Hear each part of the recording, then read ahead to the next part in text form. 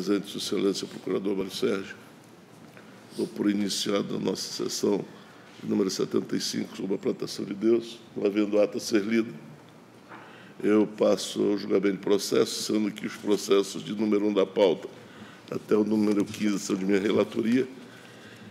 Eu ouço os nobres conselheiros, a princípio, o nobre procurador Mário Sérgio, pelo julgamento em bloco de toda a minha pauta, exceto os processos é, 8 e 9, os quais eu retiro para melhor instruí-los. Ouço Vossa Excelência. Estou de acordo, Excelência. Conselheiro Ronaldo Polanco. Sem problema, conselheiro. Conselheira Ana Lu Maria. De acordo, senhor presidente. Muito obrigado, Excelências. Então, como todos os processos relacionados, exceto os dois que eu retirei de pauta, foram analisados devidamente pelas inspetorias competentes da DAFO e receberam o parecer ministerial através de seus procuradores. São processos para apuração de responsabilidade e para aposentadorias. Deixa o relatório ao nobre procurador, doutor Mário Sérgio, que eu passo a palavra. Senhor presidente, demais conselheiros.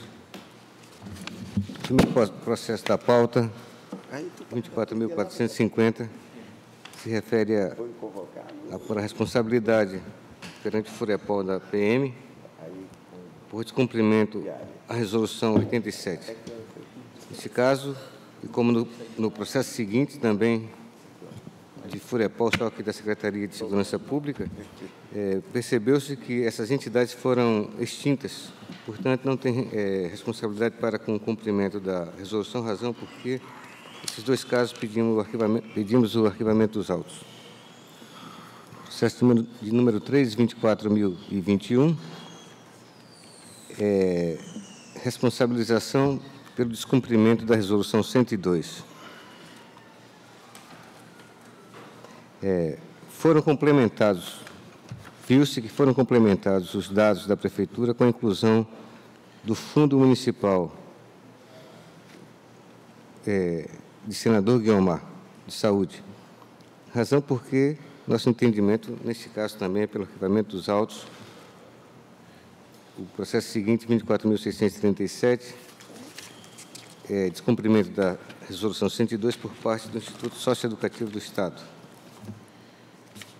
Foi apresentada fora de prazo a matéria, porém, é entendimento da Corte que, em se tratando da resolução 102, não seria caso de, de aplicação de multa e, portanto, também nossa recomendação é pelo arquivamento destes autos também.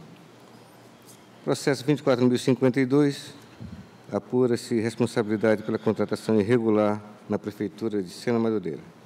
E a nossa manifestação é uniforme, no sentido de se multar o responsável, senhor José Raimundo Souza, Souza da Silva, e lhe aplicar débito de R$ 234,33 decorrente de juros é, de, definidos na, na seara trabalhista, mais multa acessória em cima desse valor. No mesmo sentido, para o processo 24.108, que é a contratação irregular também na Prefeitura de Sena, cujo responsável é o mesmo, José Raimundo de Souza da Silva, ex-prefeito. Multa mais débito, neste caso de R$ 536,77, e multa acessória em cima desse valor. E, neste caso, um acréscimo nosso de, de solicitação da inabilitação do implicado com base no artigo 91 da Lei Orgânica da Corte. Processo 24.113, também mesmo caso, tendo como responsável José Raimundo de Souza da Silva, sugerimos multa, mais débito de R$ 236,18, mais multa acessória sobre esse valor, inabilitação do, do responsável com base no artigo 91. Processo 8, é, retirado, Excelência? É isso? Certo, 8 e 9. 8 e 9. E a Vossa Excelência para aí? Não, do 10 ao 15. Está certo. Os demais, aposentadoria, aposentadorias,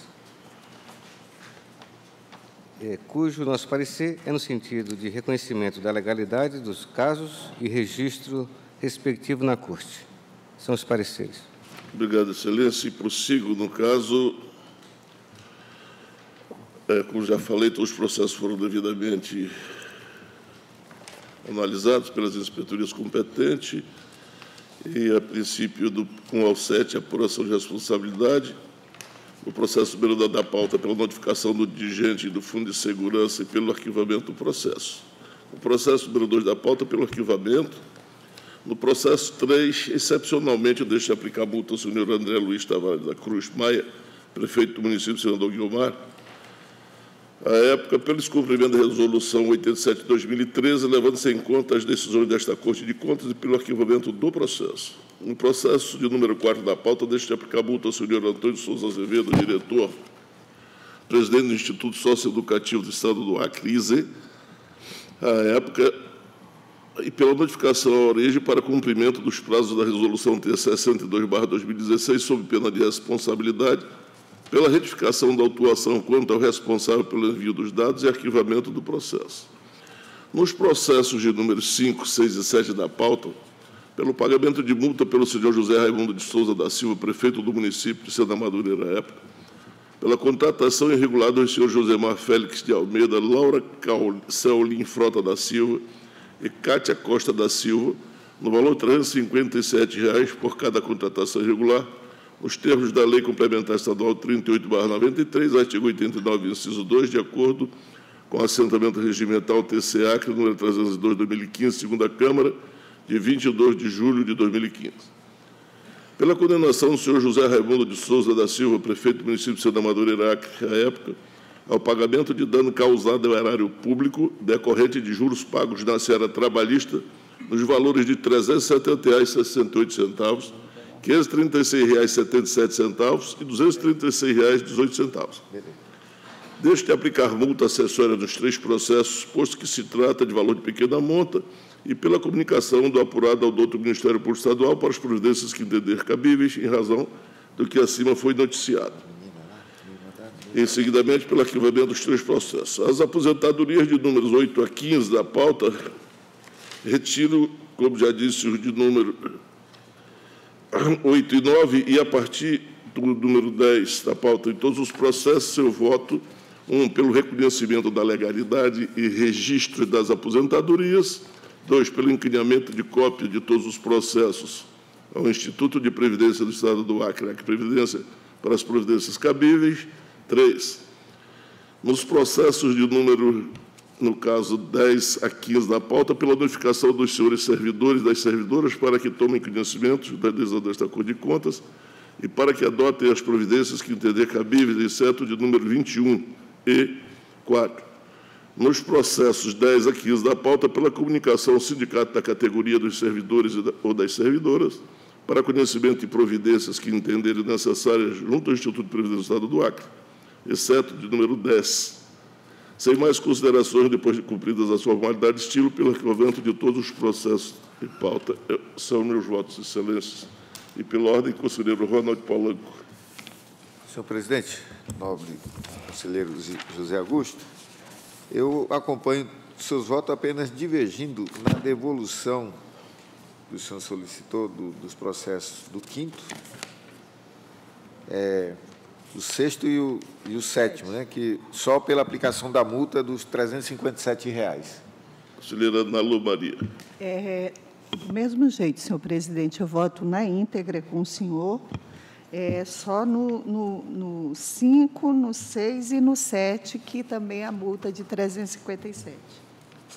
Se diz por maioria, nós temos, por unanimidade, nós temos voto relator é, divergente apenas com relação ao valor da multa não, a devolução. Da devolução de, de, de, dos acessórios da cobrança é, judicial com relação à devolução cobrada pelo Ministério da Justiça do Trabalho. Isso. E prossigo agora com o processo 16 da pauta, com a palavra do conselheiro Ronald Polanco. Senhor presidente, é, eu também solicito o julgamento em bloco. São todos processos de aposentadoria. A ordem da pauta, o meu é do 16 ao 22. Prossiga, excelência. É, no processo da ordem da pauta 16, que é o 125.733, é um interessado, é, um, é, a Maria da Conceição Lima dos Santos. É, aposentadoria. O, a, a, seguinte aposentada é Isabel Rodrigues do Nascimento, a Regina Coelho de Souza. A próxima aposentada é a Maria Madalena Torres do Nascimento. A próxima, que é o processo 126.932, Rosilene Souza Vale. O processo 123.181, Nair Nogueira Pinto. E o 124.808, Antônia Magalhães Moreira. Relatórios técnicos da quarta IGC, em todos os processos tem o parecer ministerial nos autos. É o nosso relatório, senhor presidente. Palavra, Sua Excelência, Procurador Mário Sérgio, para a sua manifestação. Obrigado, Excelência. No mesmo sentido do bloco anterior, pelo reconhecimento da legalidade dos casos e registros na Corte. É o sucinto parecer. Palavra, Sua Excelência, relator, para seus votos. Da mesma forma, senhor presidente, é o entendimento do nosso voto é pela legalidade e registro das aposentadorias, encaminhar cópia dos feitos para as providências cabíveis ao Instituto de Previdência do Estado do Acre e ao Instituto de Previdência do município de Rio Branco. Notificar as partes interessadas dos resultados do julgamento e, em seguida, pelo arquivamento dos autos. São os votos, senhor presidente. Votação pela ordem conselheira Ana Lu Maria. É, voto com o relator, senhor presidente. Apoio o voto, decidiu-se unanimidade nos termos do voto do conselheiro relator. E continua com a palavra agora o processo número 130 da pauta aqui, 23. Senhor presidente, eu, os meus votos já. É... Responsabilidade de Vossa Excelência. Não, eu, eu retiro de pauta esses. Ah, tá. Esses dois? Esses dois. Né? Ah, tá. Perfeito. Prossiga agora, então, com a palavra a conselheira Nalu Maria, a partir do processo 25. Obrigada, senhor presidente. Queria cumprimentá-lo, como também queria cumprimentar o doutor Mário e o nosso Polanco, nossa Érica, cumprimentar a todos. É, senhor presidente, eu também gostaria de, de pedir permissão para votar em, em bloco. São todos de aposentadoria. Prossiga, excelência. Obrigada, senhor presidente. É, o 25 é a aposentadoria da servidora Lindalva da Silva Oliveira. É, o 26, que é o 124.960, é, teve um, um erro na, na, pauta, que eu gostaria de aproveitar e já pedir para consertar. É, em vez de, de, é, do servidor Vicente Paulo Nepomuceno, é, é, servidora Raimunda Célia Pereira Craveiro. Raimunda Célia Pereira Craveiro. Mas tem toda a instrução do Ministério Público de Contas, tudo direitinho. Aposentadoria voluntária integral por tempo de contribuição da servidora Denise Silveira de Oliveira e da servidora Maria Missionária Gomes. É, todas são do município de Rio Branco e no primeiro, a doutora Ana Helena de Azevedo Lima se pronuncia, no segundo, doutor Mário Sérgio Nery de Oliveira, e nos dois últimos, doutor João Isílio de Melo Neto. São os relatórios, senhor presidente. Palavra, Sua Excelência, Procurador Mário Sérgio, para a sua manifestação. Obrigado. E de maneira uniforme também opinamos, nesses casos, pelo registro, ante eh, o reconhecimento da legalidade de todos eles. É o parecer. Retorna a Sua Excelência, relatora, para seu voto. Obrigada, senhor presidente. Assim sendo, voto pela legalidade e registro das aposentadorias, notificação das servidoras para tomar conhecimento dessa decisão, encaminhamento de cópia do processo ao Instituto de Previdência de Rio Branco, RB-Prev, para as providências cabíveis e, após as formalidades de estilo, pelo arquivamento dos autos, são os votos, senhor presidente. Em votação pela ordem, conselheiro Ronald Polanco. Acompanho o voto, presidente. Acompanho o voto. Decidiu-se unanimidade nos termos do voto da conselheira relatora. Encerrada a pauta do julgamento, não havendo mais processo, naturalmente, não havendo expediente a ser lido, eu passo às comunicações faculto a palavra à Sua Excelência, Procurador Mário Sérgio.